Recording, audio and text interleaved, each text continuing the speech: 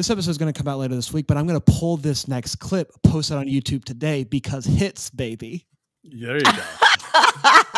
Let's talk about the breaking news at hand. Mm. Um, and boy, is it a doozy. Last week, obviously, the big news about Lori Loughlin going to the GAC for When Hope Calls, the spinoff of When Calls the Heart, which, you know, we'll touch on here.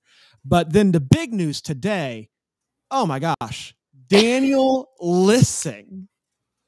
I don't know what's going to happen. I don't know what this looks like. But Daniel Lissing coming back for, I believe, uh, When Hope Calls a Country Christmas, which we can touch on that bad name here in a moment.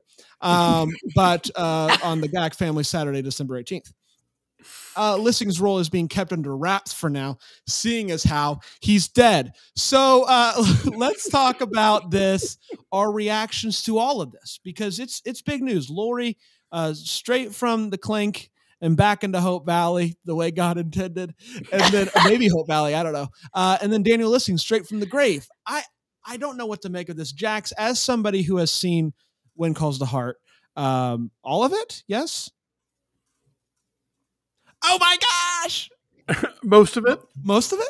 The seasons you had to talk about. You know what? What no, I've seen it. I've seen it. Yes. you know what the program is. Um, this is pretty wild news. How do you envision this playing out? Um, I mean, is he a ghost? Are they flashbacks? It was he actually not dead the whole time, just hiding from the law? Did he not want to be married anymore? There's so many But possibilities. The thing about all of He's those a deadbeat dad. possibilities. yeah, exactly. the thing with all those possibilities is what are they going to do about the fact that I'm assuming Erin Krakow is not going to be a part of this. So, what are these flashbacks going to be? If he is a ghost just haunting, like what's the point? I don't know how they bring him back and do it justice without him, oh, I don't know, going back to his wife and his baby. Do you think they're worried about doing it justice? no, of course not. but I don't Or know they- how they. Yeah, Slap an eye patch on him. Jack had an evil twin all this time, and Please, you know, he's here to make trouble for a. Are you- Christmas. Are you trying to tell me that there's a chance that this is just for ratings? Oh, perish forbid.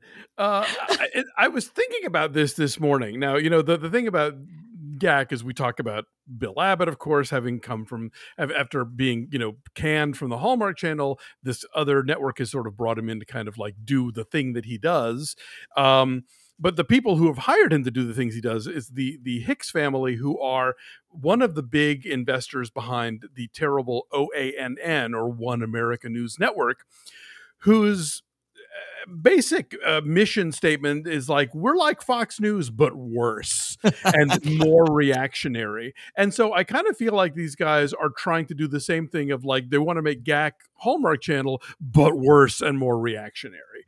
Um, that's just a hunch. We haven't seen anything from GAC yet, so it's too early to say. But I think that's what we're leaning on, and so I suspect that they're going to make when hope calls as much like when calls the heart before a person of color with speaking dialogue showed up. Um you know and then figure out and and and they know that they're trying they're clearly trying to attract the hallmark audience that the, the hashtag not my hallmark audience the ones that doesn't want to see same-sex couples that don't want to see interracial couples all that stuff that's been happening only since bill abbott left.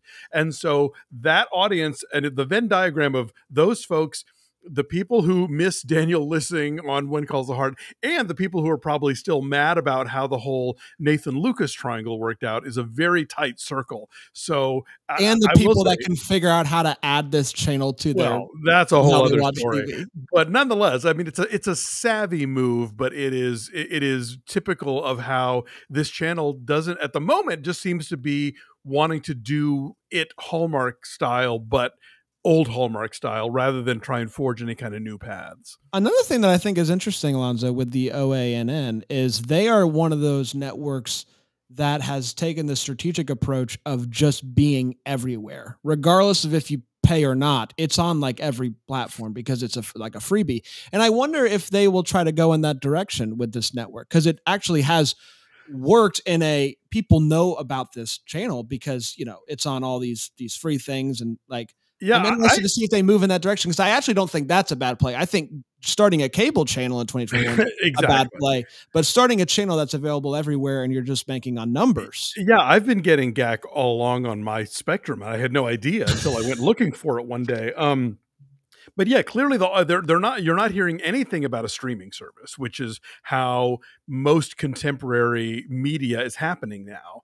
Uh, but you know, Bill Abbott, of course, is the guy who had emails printed out and given to him on paper, so he's not necessarily Mr. Tech. So yeah, they're clearly they're clearly aiming at the aging dying cable audience and so obviously if that's going to be your demo you want to be on as many cable systems as you can and get as many eyeballs in front of it as you can Well, and and what's I think what's interesting about that too is even using a black and white headshot of Daniel Lissing because those are coming back.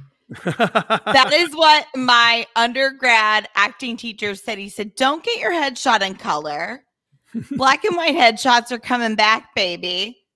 it's a They classic did it. look. Yeah, it's a classic look. It's a So classic yeah, look. Yeah. I don't I don't see what the big deal is. He look the thing is is he does look great in black and Sure. white. I'll give him that. oh yeah.